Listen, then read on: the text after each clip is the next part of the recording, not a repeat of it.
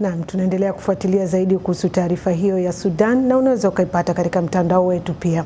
Tuangalie huko Kenya ambapo taarifa za kusikitisha zinasema hatima ya madaktari wawili raia wa Cuba bado haijulikani baada ya kudaiwa kutekwa nyara na magaidi wa Al-Shabaab kaskazini mashariki mwa Kenya.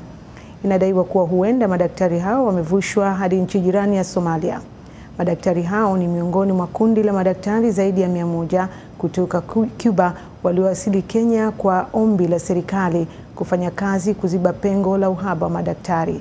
Msemaji wa polisi nchini Kenya, Charles Ouno, amethibitisha kuwa mlinzi wa daktari hao ameuawa na magaidi ambayo tayari walitoroka na gari na kuingia Somalia, huku dereva wa gari la serikali ya jimbo la Mandera bado ambalo madaktari hao walikuwa wakitumia limepatikana na dereva wake anaujiwa.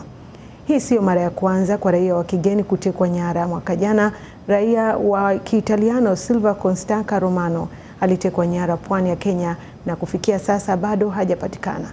Kwa sasa tusikilize msemaji wa polisi Charles Owino aliyezungumza na waandishi wa habari jijini Nairobi.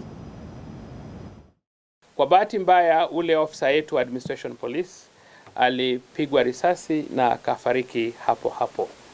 Uh, baadaye hawa uh, wagaidi waliweza kunyaka uh, hawa maofisa wawili uh, madaktari wawili na wakaweza kuvuka uh, mpakani wakaelekea uh, Somalia. Uh, ule ile gari yenye ilikuwa ime ya hospitali yenye ilikuwa imebeba madaktari tumeweza kuipata, na ule dereva alikuwa na hiyo gari tume uh, mshika na tuko naye, tunaweza kum, kumhoji uh, tuweze kujua ni uh, nini haswa ilikuwa imefanyika.